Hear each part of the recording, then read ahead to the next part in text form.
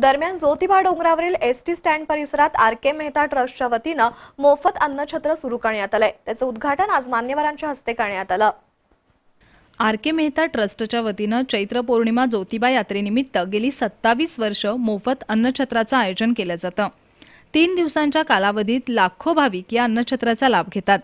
या अन्नछत्राचं उद्घाटन अदृश्य काडसिद्धेश्वर महाराज यांच्या हस्ते आणि पन्हाळा शाहूवाडी विभागाचे पोलीस उपअधीक्षक आर आर पाटील यांच्या उपस्थितीत करण्यात आलं.